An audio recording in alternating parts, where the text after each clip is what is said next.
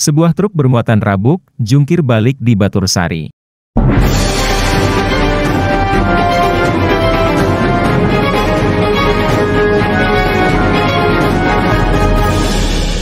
Sebuah truk engkel bermuatan rabuk, atau pupuk berupa kotoran ayam, terbalik di Dukuh Cemara, Cemara 1, Desa Batur Sari, Kecamatan Pulau Sari Pemalang, sore tadi.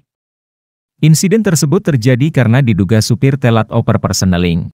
Truk engkel penuh muatan rabu kotoran ayam ini, tak mampu menanjak hingga mengakibatkan kondisi truk terjengkang dan terbalik dengan posisi roda di atas.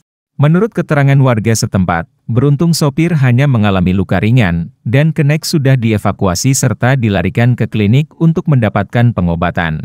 Melihat peristiwa tersebut, Sejumlah warga Cemara 1 dan Cemara 2 kompak bergotong royong, langsung memberikan pertolongan dengan mengevakuasi kendaraan beserta muatannya.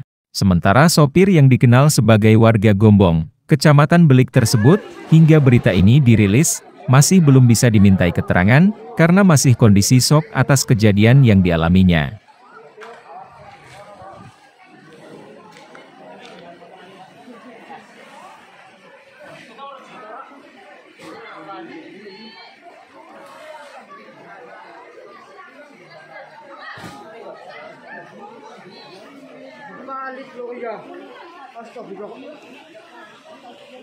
Dari Pulau Sari, Jawa Tengah, Himawan dan Info News mengabarkan.